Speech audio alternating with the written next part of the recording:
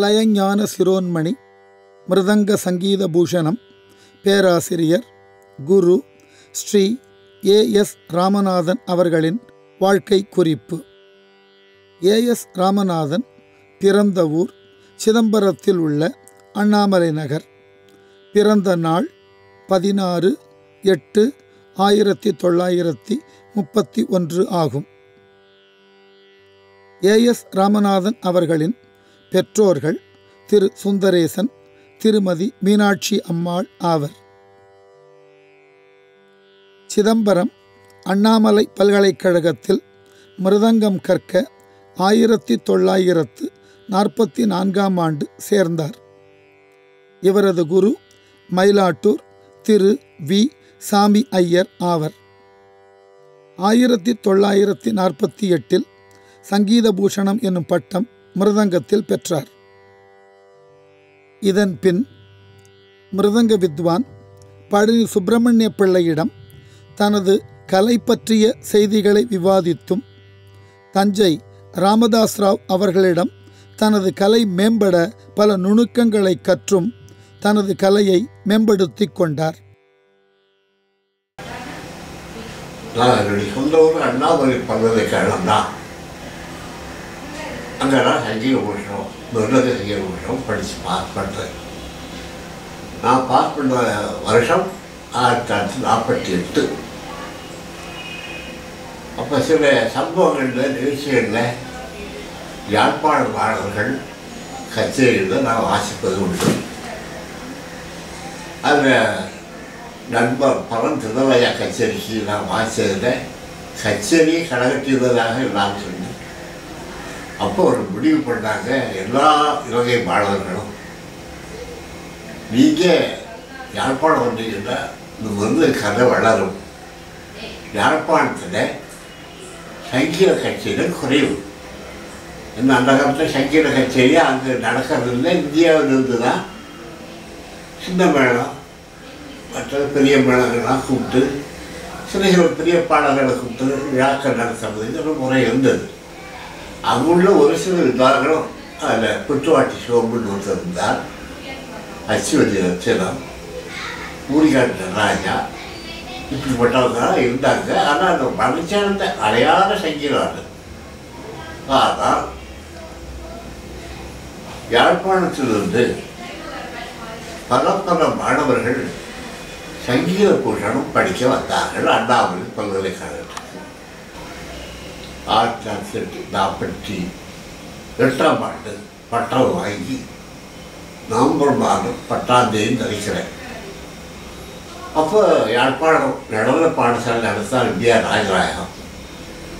அந்த திரு பரந்துராஜா அவர்கள் சொல்லி உங்கள் நடன ஸ்கூலுக்கு நல்லா புத்தகம் வாசிப்பார் நல்லாவே பாட்டும் பாடுவார் அவரை நீங்கள் அவரை கேட்டு அது எனக்கு அவர் வேலை கொடுத்தாங்கன்னு நான் போய் அங்கே சேர்ந்தேன். சேர்ந்து டான்ஸுக்கு பாடுறதும் மற்றது சில டான்ஸுக்கு மிருதகம் வாசிக்கவும் இப்படி கொண்டு செய்து கொண்டிருந்தேன்.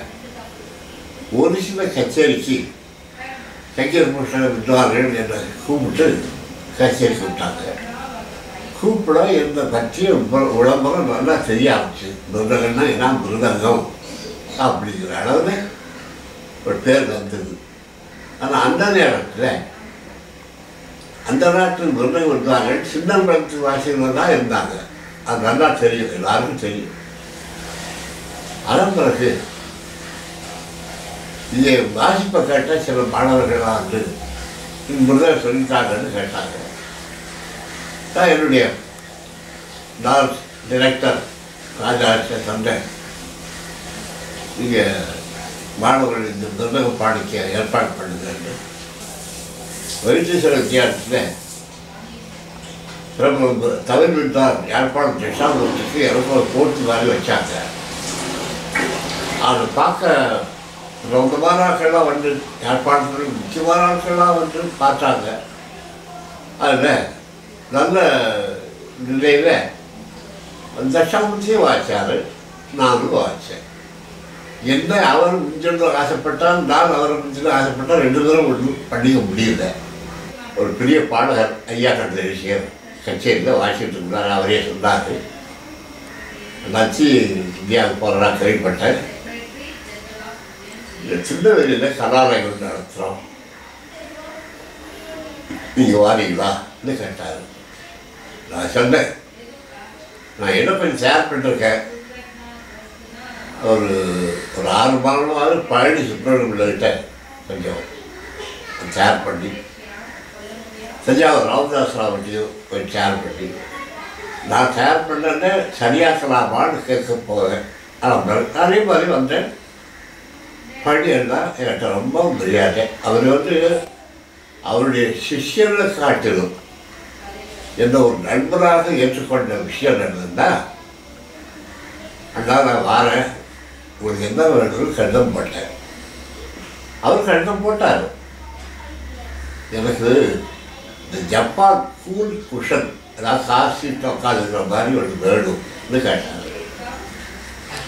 கொழும்பு கச்சேரி போகல அதை ஒன்று வாங்கி வச்சுட்டேன் அதோட அவருக்கு இந்த ப்ளூ கில்லட்டு அது இது தோசை சாமான் ஷேவி சாமான் சோப்பு இதெல்லாம் அதோட அவர் மனைவிக்கு நல்ல பேர் மறைத்தவர் ஜப்பான் சார்ஜன் சேவையை ஒன்று வாங்கிட்டு போய் அவர்கிட்ட கொடுத்தார். அவர் எவ்வளோ ரொம்ப அளவுக்கு மீறி சந்தோஷப்பட்டு மற்றவங்களாம் நிற்பாங்க. அது சோபாரி இந்த பக்கத்தில் உட்கார சொன்ன அளவுக்கு என் மேலே ஒரு அன்பு வச்சுக்கிட்டேன் வைக்கிறேன் இந்த அவர் இன்னும் ஒன்று சொன்னால் அதை ஒன்பதாக்குற முறமான முறைக்கு சொல்லுவார். அதை நான் ஒன்பதாக்கி அதை பதினெட்டு விதமாகக்கூடிய வழியில் இது உறவுமுறை மாணவர்களாம் சந்தேகங்கிறத நான் பெருந்தாக சொல்லிக்கிறேன். இலங்கையில் தமிழ் இசையை வளர்க்க வேண்டி முப்பத்தி ஐந்து ஆண்டுகளாக தமிழ் இசைக்கு என ஓர் அமைப்பினை நிறுவி அதன் தலைவராயிருந்து செம்மையாக பணியாற்றினார். அதன் காரணமாக செட்டிநாட்டு அரசர் திரு அண்ணாமலை செட்டியார் இவரது பணியை பாராட்டி அதற்கு என உரிய மடலையும் எழுதி தந்துள்ளார்.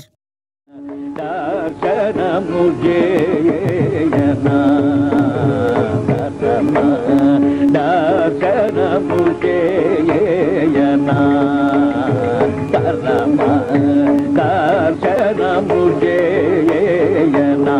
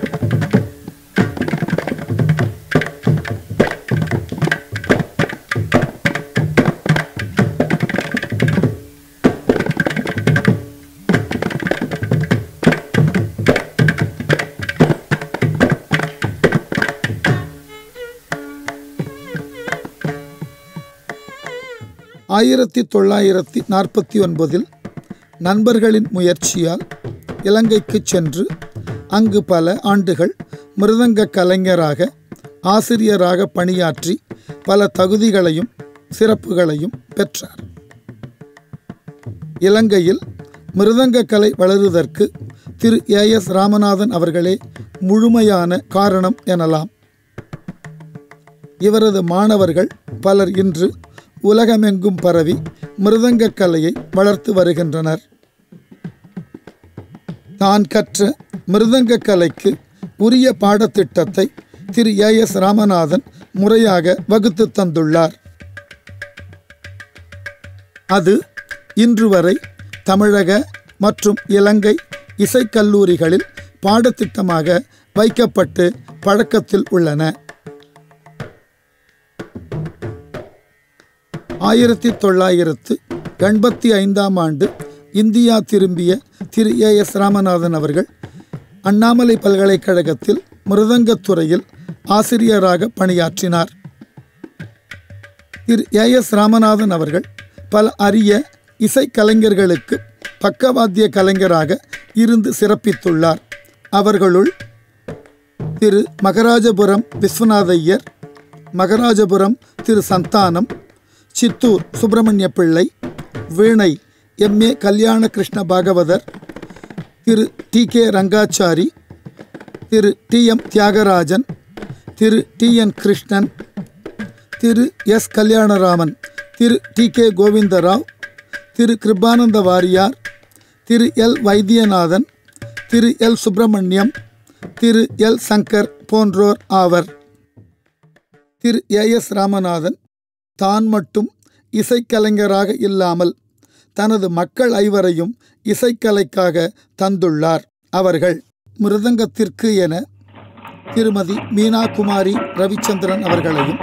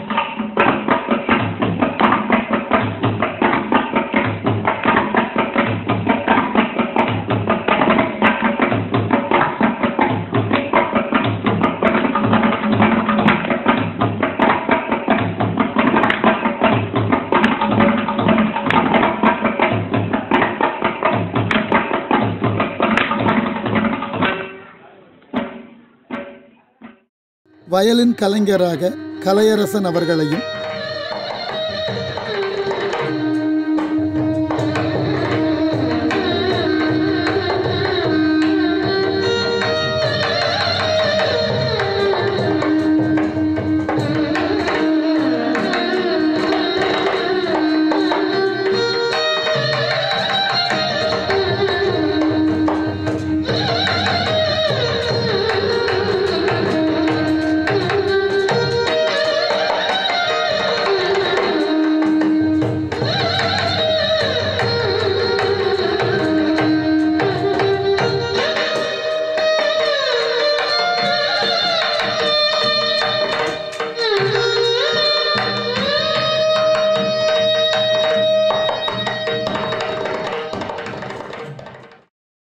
வாய்ப்பாட்டினுக்கு என லதாங்கி ஜெயமோகன் அவர்களையும்.